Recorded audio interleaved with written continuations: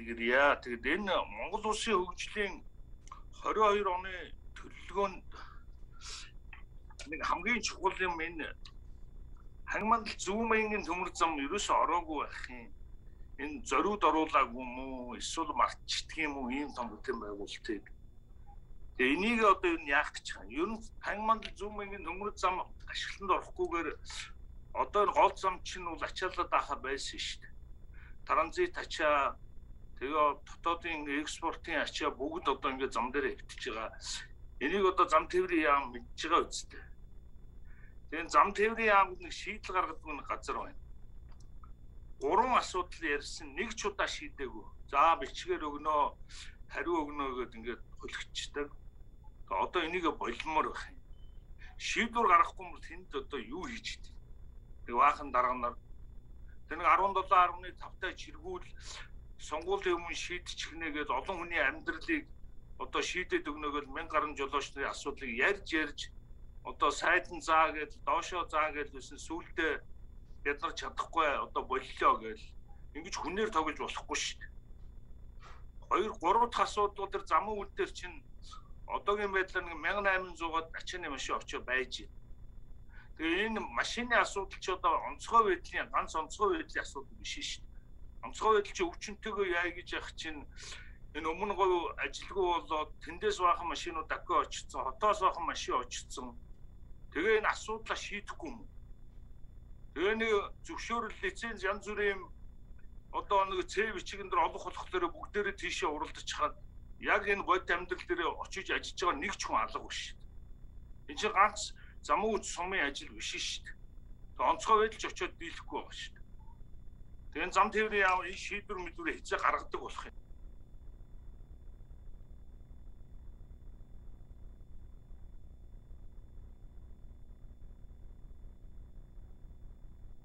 За халтар сайд нэгдүгээр микрофон.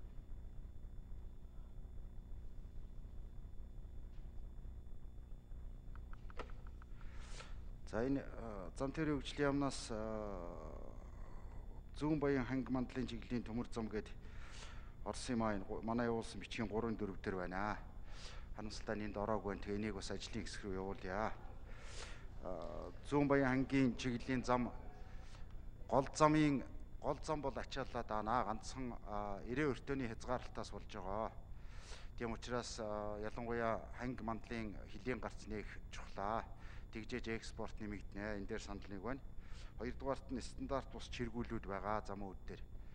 Тэгээ бид нар одоо ялангуяа энэ тээвэр хийж байгаа зам нэгдүгээрт өөрөө нарийнхан тэр нарийн буюу голын зураас давсан өргөнтэй чиргүүлүүдийг хот орондын хөдөлгөөнд оруулах нь өөрөө хөдөлгөөний аюулгүй байдалд ноцтой аюултай учраас бид нар хэмжээнээс татгалзаж байгаа.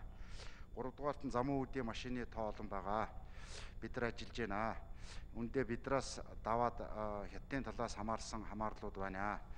Замын үүд дээр голонтууд удаа дараа гарсан. Энтэй холбоотой ирээний талаас авч байгаа машины тоон дээр хязгаарлалтай байгаад байгаа учраас бид нар яаж чадахгүй. Тэгтээ гадаад яамтайгаа хамтраад бусад газруудтайгаа хамтраад ажиллаж байна. Баярлалаа. Ханги мандлын замыг яагаад оруулаагүй юм бэ гэсэн шүү дээ. Ханги замын ханги мандлынхыг манайх явуулсан. Тэгээ үндэсний хөгжлийн газар дээр л ороогүй юм шиг байна. Дахиад ажлын хэсэг дээр явуулъя. За нэмдэр цаад.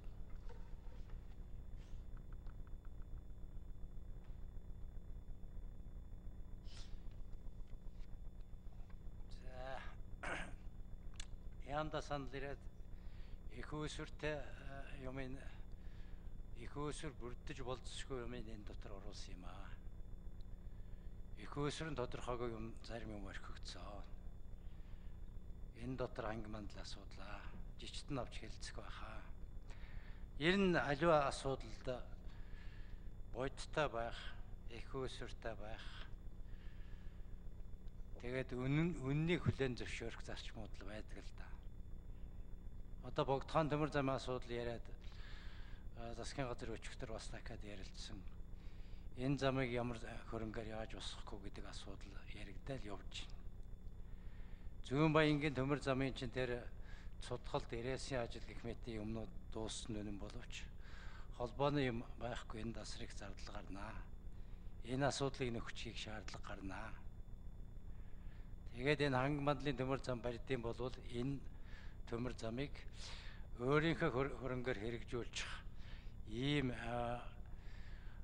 төр хувийн хвшлийн юм гарч ирэх уу юу гэдэг асуудал бас судлах шаардлагатай байгаа. Замын ач холбогдлыг бол ойлгож байгаа. Гашуун сухад нь дуусаагүй, зүүн баян дуусаагүй, богд хааны асуудал юм байдаг.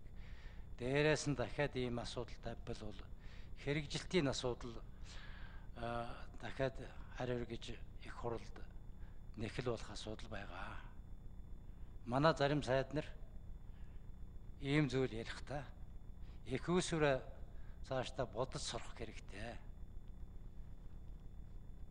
Их усүргүй юм төлөхтгөө болох хэрэгтэй. Энийг харин би хурлын жуулган дээр энэ залуу сайднарт хэллээ шүү. Ийм зөвлөд байгаа гэдгийг хэлье. Ачаал